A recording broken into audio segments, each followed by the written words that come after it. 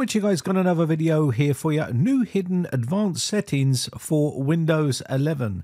This is coming to all Windows 11 users and what Microsoft have announced and planned is to replace the for developers page in the advanced settings page.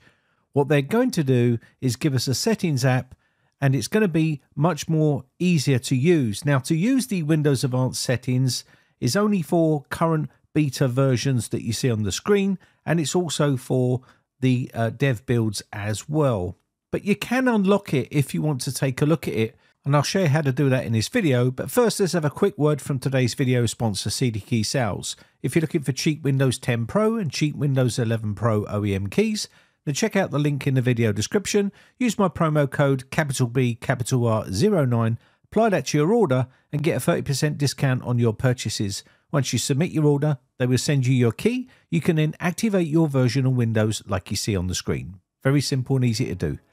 Okay, so let's get back to how you can enable this feature on Windows 11 if you're running one of those builds that we mentioned earlier. So you can see by default here in the system pane right here, you can see that it's for developers right here. This is uh, just under the multitasking here. That is how it is right now. But to enable the feature, what you need to do is I'm going to check and make sure I've got all of the latest updates on this system. And then you're going to need to download the Windows Advanced Settings app from Microsoft here.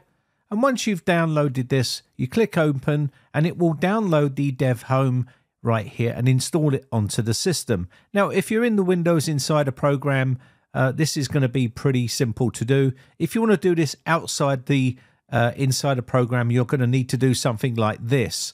So let me go ahead and finish this off. Once that's fully installed, you're going to need to be able to install the actual ViVeTool here so we can actually install the code to release the actual feature. So the Windows version I'm running right here, you can see this is the build right here. And it's either this build or the beta build. So the beta and dev builds that are running those versions that I showed you earlier.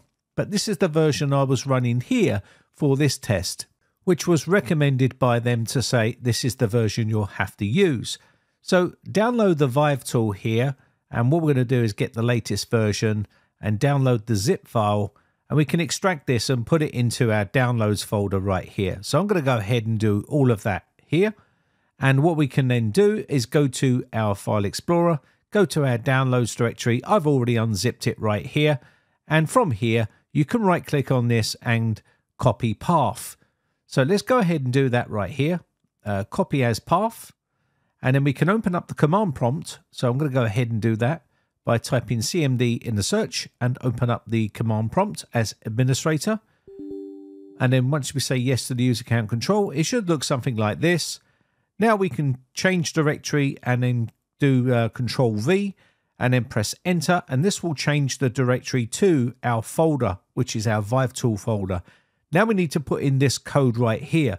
This code will be in the video description if you want to try this out and push enter. And what this will do is hopefully successfully enable that feature. You will need to restart the PC. So let's go ahead and restart the PC here. And once we've restarted, we'll get back to the desktop and we'll take a look. Now, you're not going to have to do all of this once it's rolled out to the general public. It's going to come down as an update and it should work perfectly fine without doing all of this. This is if you are not in the Insider program and you want to try and do it on a virtual machine like I'm trying to do right here. So let's go into the Start button. Apparently, when you do this now, you click Settings and in System, it should be there. Uh, but unfortunately, as you can see for me, it's not worked. But let me just show you exactly what this is going to look like because I know other people have got this working. But you can see on here, it's in the developers. It should replace this and say advanced here.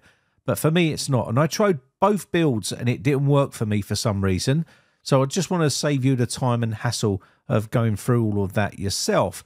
But you can see it's got the end task right here. You've got File Explorer, you've got Enable Long Paths right here. You can toggle that on. And you've also got other ones like Virtual Workspace, Remote Desktop, and you've got some other ones here like Enable Sudo Developer mode is turned on here on this image. Uh, I did try turning it on, but it still didn't work. But you do have other features which is going to gain you quick access to uh, the file explorer here where you can turn on show file extensions and show hidden file systems, show paths in title bar, and all of these settings will be available inside under the advanced options. So it seems like they're generally phasing out a lot of the other ways of doing it and putting it into this advanced settings uh, pane rather than going into developer mode. Now, this feature was found by Phantom of the Earth and Alex, and these are the two people that have actually found out and worked this out. So kudos to those for doing all of their work to find these features for us so I can show you in real time. But unfortunately, it didn't work for me, and I will continue to try and get it to work. But anyway, let me know your thoughts in the comment section down below. My name has been Brian from briteccomputers.co.uk. Quick shout out to all my YouTube members who joined my YouTube members group. Appreciate the support.